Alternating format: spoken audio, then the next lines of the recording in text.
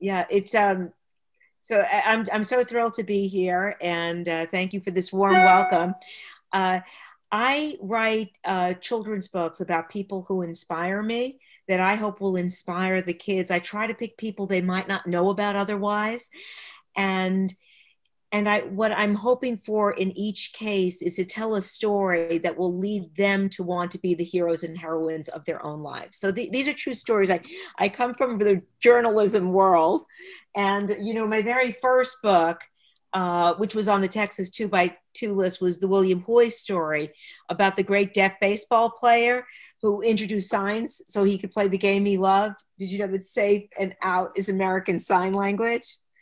And I mean, I can take you on a whole tour of the books, but what I do want to focus on are, my most recent ones. You know, we didn't get to go to the to the TLA last year, but last year I was so proud. Uh, so these still feel very new to me. Uh, two books about mighty women, and as a matter of fact, they both made the Mighty Girls list. So again, these are true stories about people you might not have heard about otherwise um, Beautiful Shades of Brown, The Art of Laura Wheeler Waring, um, is the true story of the painter Laura Wheeler Waring, who grew up in a segregated America, and her dream was to see people who looked like her and her family and people she admired on museum walls. And everyone said, Well, that's crazy. That's not going to happen. But I always write about people who don't give up, who persist. She pursues her craft. Um, she studies at the Pennsylvania Academy of Fine Arts. She goes to Paris. And guess what? We find out that um, her paintings are now in the Smithsonian. Um, by the way, this is an all Texas team here because I'm from Texas and the illustrator, this incredible illustrator, Felicia Marshall, I want you to see her, is also from Texas. She's from Houston. And um, we got permission to reproduce um, Laura Wheeler Waring's paintings in the Smithsonian in the back of the book. That is the incredible painting of Marian Anderson that made me fall in love with Laura Wheeler Waring in the first place. And the thing that I think is, I'm so excited about is that not only will you learn about this painter who deserves to be more widely known, but through her paintings, you will learn about people who deserve to be more widely known because these were the famous people of her day. Um, W.B. E.B. Du Bois, the great educator, Harry Burleigh. Uh, well, people do know Marian Anderson. By the way, I recommend pairing this with When Marian Sings by Pam Munoz Ryan, which is one of my favorites.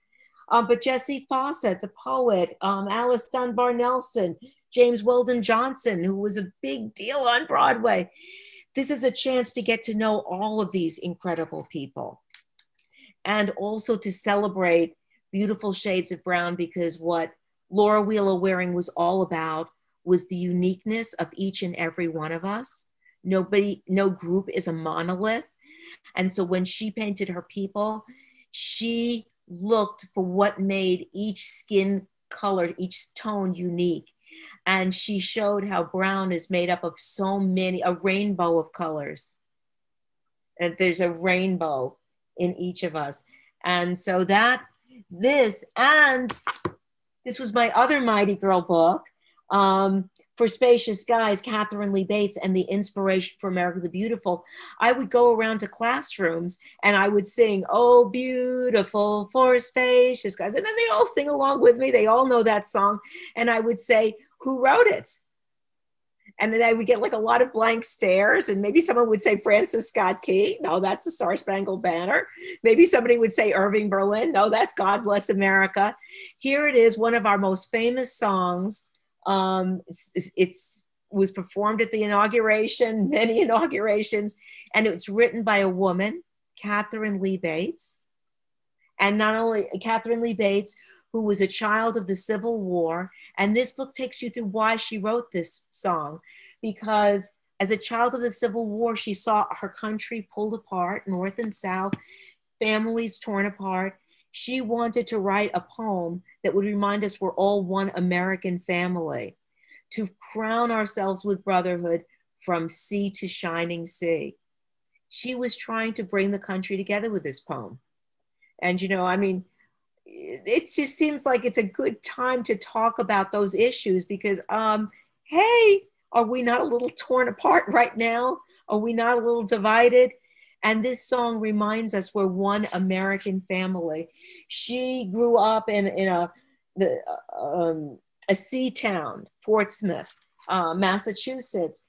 But as she traveled across America, she began to see that you know that that line in the poem amber waves of grain think about that she grew up beside actual waves ocean waves and when she says amber waves of grain she's talking about how much the farmers in inland farm communities have in common with the people in the sea communities that's the point of that metaphor.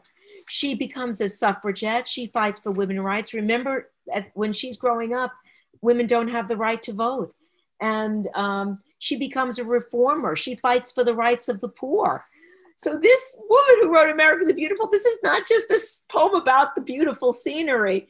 This is a poem about what really makes America beautiful is brotherhood, is standing up for each other, is lifting each other up, equal rights and justice.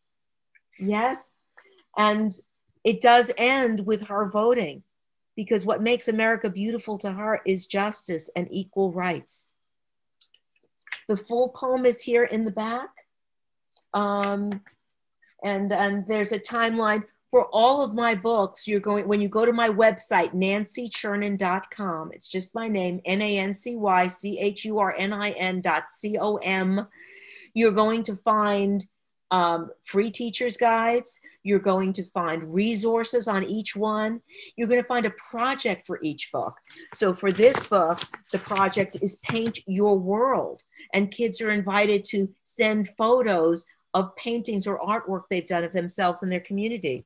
For Spacious Skies, the project is called For Spacious Lines because Katharine used her words to bring people together. And I'm hoping kids will also share their words, could be poems, could be prose, about how we together can make America more beautiful. And by that, I mean more just, more kind, and thereby more beautiful. And when you go, and I have a separate project page for each book, so you can go to those pages and see what the children have contributed. And I'm hoping that this will encourage um, educators to use the books because as I said from the start, my goal is to not just, not just, but I like to write about people who inspire me, but I want them to inspire kids to be heroes and heroines. I want them to take the next step and see what they can do to paint their world, to be more inclusive, to, uh, to create their own spacious lines um, about how American can be more just, more fair, and thereby more beautiful.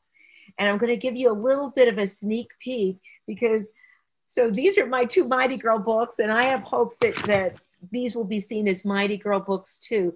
Coming out this year in October is Dear Mr. Dickens. I don't have it in hand. I won't have it in print until June. Comes out in October. Dear Mr. Dickens, this is someone I bet you've never heard of Eliza Davis. Most people haven't. You know who Eliza Davis was?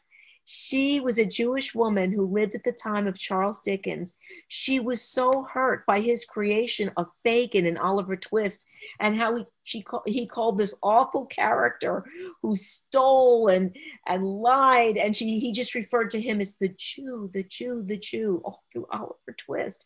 It was so painful to her as a Jewish woman. And there was so much prejudice against Jewish people in England at that time other places as well, but in England, which was her community. She wrote him a letter, Dear Mr. Dickens. And guess what? He responded. And this true story is the story of these letters that go back and forth and how this Eliza Davis changed Charles Dickens' heart. And you'll find out a lot more about that in the book, but including, I will add this his last published book, Our Mutual Friend, includes a kindly Jewish character named Mr. Riah. As a matter of fact, Riah is the Hebrew name for friend. So it's about how speaking up can make a difference.